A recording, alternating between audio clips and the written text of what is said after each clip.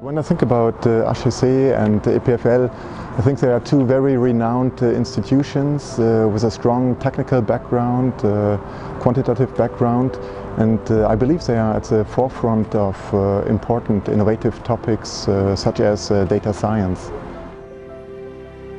My objective about the program is transform myself um, in a way that I will be inducted by the knowledge that I'm going to receive from the program and I will be able to go further beyond the comfort zone that I have today, reaching some levels that today even I don't know.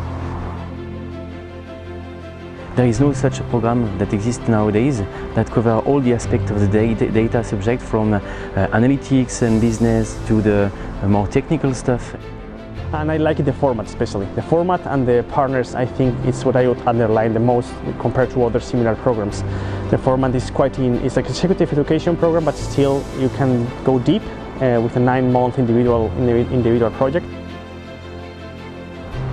Speakers are um, totally uh, up to date, also inspiring people, uh, challenging people, asking uh, a lot of questions and making ourselves really think about the, the, key, the key things. One word, inspiring. Exciting. Uh, very inspiring, two words. Two words.